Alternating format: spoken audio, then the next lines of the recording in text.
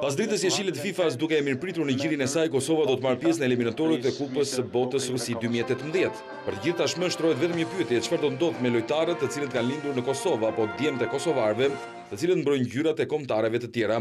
Hipotezat ekzistojnë, në praktikë mbetet për t'u parë, edhe pse disa lojtarë si në rastin e Ujkanit, Loret Sadikut, Mërgim Brahimi, apo Bersant Celina tashmë e kanë bërë duke kaluar tek Kosova. Më të rrezikuarat mbeten Zvicra dhe Shqipëria, me të parët që ndoshta e vuajnë më shumë duke parë një numër të madh talentesh, të cilët janë të inkuadruar në ekipet zinxhirë të kombëtareve dhe një rrjedhje e mundshme do t'i dobësonte shumë ata. Krerët e Federatës së Futbollit nuk kanë hezituar kur kanë deklaruar se do t'u bëhet ftesë të gjithë lojtarëve me origjinë nga Kosova. I pari që ka thënë jo është Adnan Januzaj, i cili ka preferuar Belgjikën.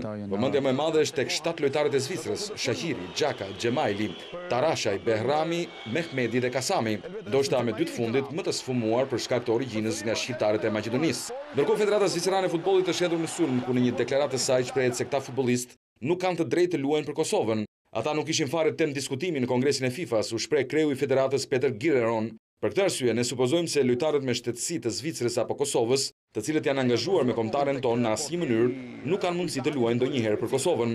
Por ndërkohë drejtori në departamentin ligjor Robert Breiter e hodhi poshtë këtë tezë, duke u shprehur se nëse një lojtar dëshiron të ndryshojë kombëtare, këtë e vlerëson komisioni kompetent i FIFA-s. Deri tani nuk ka premisë se ndonjë futbollist, deklaroi Breiter, dëshiron të largohet apo të ndryshojë kombëtare.